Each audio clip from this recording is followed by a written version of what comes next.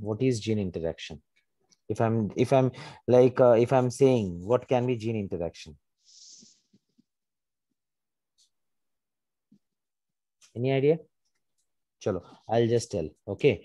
Gene interaction, what it is happening actually, I would say that it will be actually the influence. We can say that it will be the influence of one allele. It will be the influence of that of one allele over another.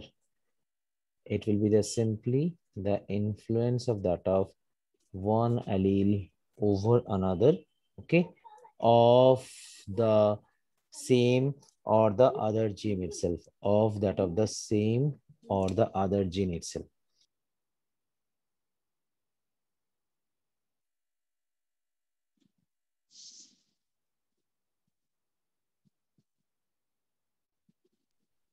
Influence of one allele over another of the same we can say that uh, like one allele over uh, another itself of the same or that of other gene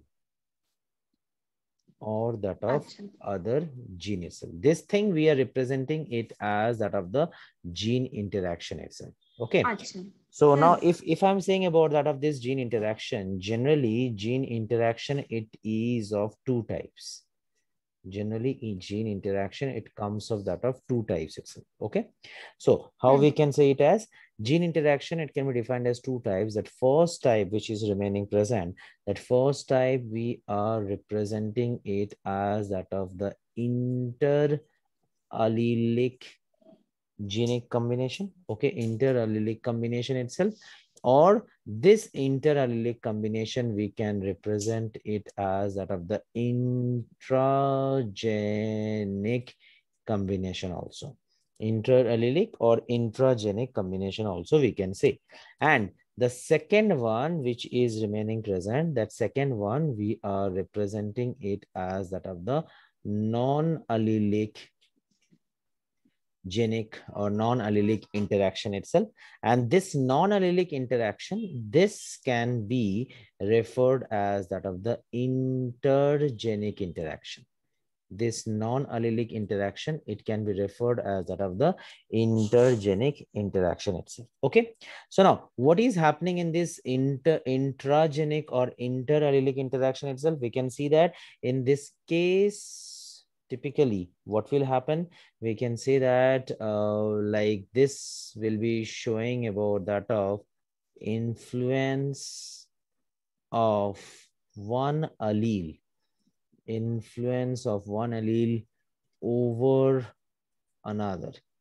This is showing that of the influence of one allele over that of another itself. That thing we are representing it as out of the interallelic or intragenic influence itself okay? And if i'm saying about that of this non-allelic like intergenic interaction in terms of that of intergenic interaction itself what is happening? We can say that like allele of one gene. We can say that allele of one gene this is generally we can say that it is influencing the expression of that of another. So you have to remember that when I'm talking about that of intragenic part, in terms of intragenic part, this is focusing over that of the allele respect itself. Whereas we can say that when I'm saying about that of this intergenic or non-allelic part itself. So in terms of this intragenic or uh, intergenic or non-allelic part, this is actually focusing the relation over that of one gene and that of the another gene itself. It is, is hmm. focusing hmm. the relation between one gene with respect to that of another gene itself. Okay. Hmm. So if, I, if I'm taking the case of that of this interallelic or intragenic part itself, if I'm taking the case of this interallelic or intragenic part, so interallelic, this thing, we can take uh, the example as, we can take the example, there can be many examples. One example will be the codominance.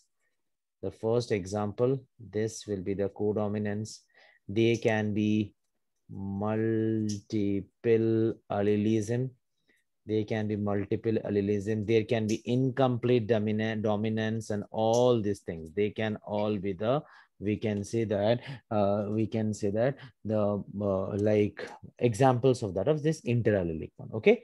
And if i'm taking the example of non-allelic or intergenic one in terms of non-allelic or intergenic one there can be examples like epistasis there can be examples like epistasis there can be examples like complementary genes there can be examples like we can say epistasis as well as the complementary genes also okay like that mm. the hmm. examples it can be there okay so mm. so hmm. now if i'm saying about that of this thing first of all we'll start with that of this interallelic or intragenic interaction first of all we will be starting with that of this interallelic or we can say that this intragenic interaction. So if I'm starting with that of this interallelic or intragenic interaction itself. In this case, first of all, we as we had already discussed that this is actually the influence of one allele. That means this is the relation between that of like uh, two homologous chromosomes itself in that case. Okay. And mm. this is actually the interaction in between that of two alleles. Okay. In which one allele mm. is having the influence over that of another okay mm-hmm. so hmm. now if i'm taking the case of this interallelic or intragenic one this interallelic it always we have to remember one thing it always like uh, shows its uh, like expression or i would say that in a better sense i would say that it always brings changes this always brings changes in the monohybrid cross result this always brings the changes in that of monohybrid cross results itself. Okay, so interallelic or intragenic one, this always brings the changes in that of monohybrid cross one. Whereas if I'm taking the example of non-allelic or intergenic one, this always brings the changes in that of the dihybrid cross results itself. Here, this is always bringing the change in that of the monohybrid cross results itself this thing you have to remember. Okay. So mm -hmm. now if i'm taking the like examples of that of the, all these interallelic one or intragenic one okay? So in this interallelic and intragenic one this the first example that we can take that first example we are representing it as that of the incomplete dominance. The first example which we can take we can represent it as that of the incomplete dominance itself. Okay. So hmm. if I'm saying about that of this uh, like incomplete dominance, you have to remember one more thing that this incomplete dominance actually we are representing it also as that of an intermediate inheritance. This incomplete dominance we are actually also we are referring it as that of an intermediate inheritance itself we are referring it as that of the intermediate inheritance itself in that case okay? And under mm. which what is happening actually? Under which both the characteristics or you can say that both the expressions both the features and all these things they are getting blended apart. That that is happening over here okay? They are getting blended apart and they are mm. like uh, producing certain kind of intermediate expressions okay? So here oh we can say that what is happening. We can say that in this case uh, like both the alleles both the alleles they are uh, remaining present together itself. Both the alleles these are actually present together. Okay here in this case what is happening both the alleles they are remaining present together itself. And when both the alleles are remaining present together at that time what will happen? At that time like uh, they are producing certain when they are remaining present together at that time they are actually producing we can say that certain intermediate result. They are resulting to produce certain intermediate expressions itself. They are resulting to the production of that of certain intermediate expressions. Okay, so here in this case, hmm. what is hmm. happening? I'm just repeating it once more. The incomplete dominance, what is happening? Incomplete dominance, like it is also known as the intermediate inheritance. And in this case, both the alleles, they are expressing themselves together itself. Okay. They are actually, I would say that better than that of expressing together uh, because it can create the confusion between codominance also. I can say that ki both the alleles, they are remaining present together. Okay. And these both the alleles, when they are hmm. remaining present together and based on their own own interaction, they are giving us what they are giving us an intermediate expression itself. Okay, they're producing an intermediate expression, and that intermediate expression can result into that of what like any kind of new new kind of color, new kind of trait, or new kind of uh, we can say that features generation itself in that case accordingly. So uh, we can say that it is like this. So if I'm saying about that of this incomplete dominance, we have to remember one thing that this incomplete dominance, it was first of all been discovered by the person who is named as Carl Correns. Do you remember? This incomplete dominance hmm. is first of all been discovered by that of Carl Corren during that of 1903. Carl Correns, he had first of all discovered this one. Actually, most of the like uh, most of this all these Mendelian inheritances and all these things, they were actually been discovered by that of what they have been discovered by that of this Carl Correns itself. Okay, uh, so what is happening if I'm taking the case of that of this incomplete dominance in this incomplete dominance, the ratio. Okay, so we can say that the ratio which it is altering and the altered ratio it will be coming, it is always equal to that of 1 is to 2 is to 1. That means what? What will be happening? Both the phenotypic ratio and the genotypic ratio. PR. PR stands for phenotypic ratio, do remember? And GR will be representing it as of the genotypic ratio itself. So both the phenotypic ratio and genotypic ratio in this case, in the case of that of this interallelic or intragenic interaction, it will be always equal to 1 to 1 itself in that case. Okay.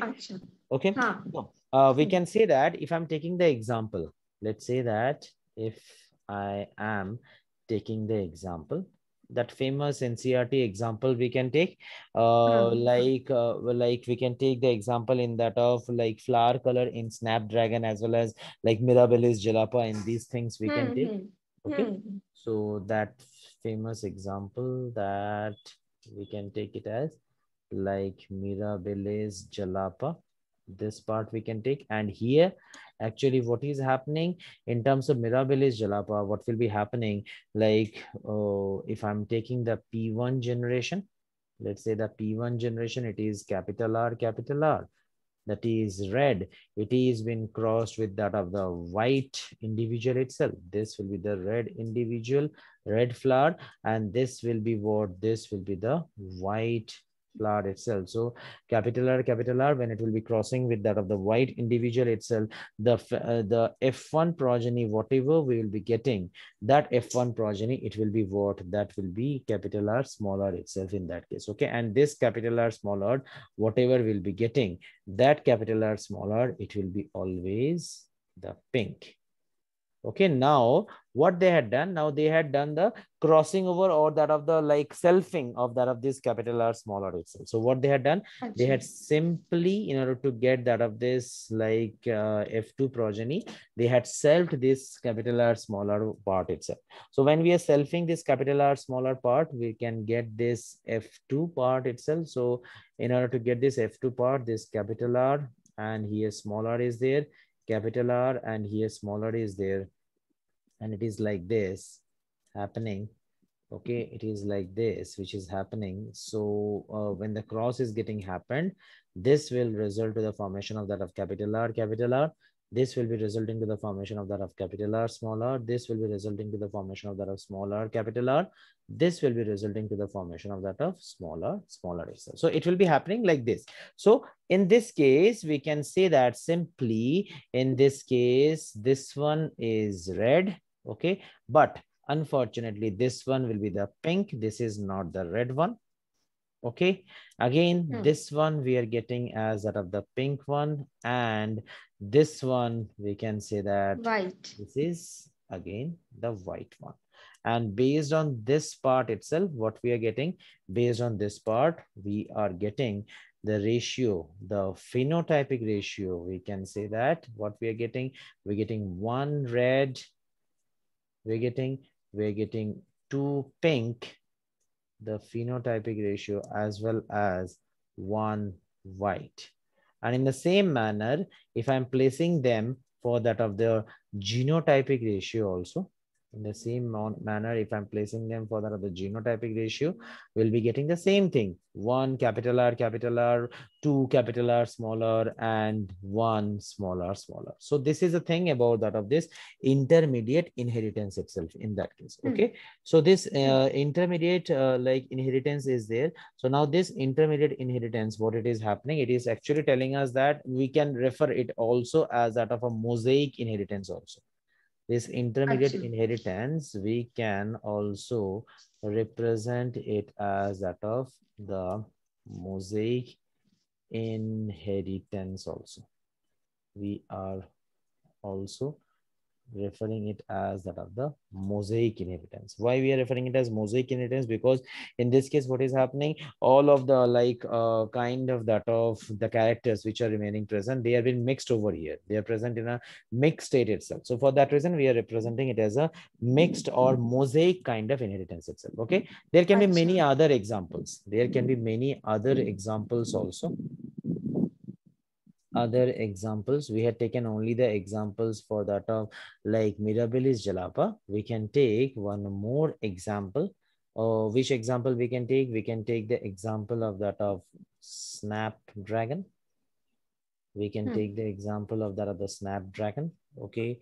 We can take the example of that of in animals also we can take. We can take the example within that of uh, specifically we can say that uh, uh, like the part which we are representing it as that of what as that of Andalusian fowls we are representing it as that of the Andalusian fowls itself. Okay? This also can be the example of that of in uh, like incomplete dominance itself. Okay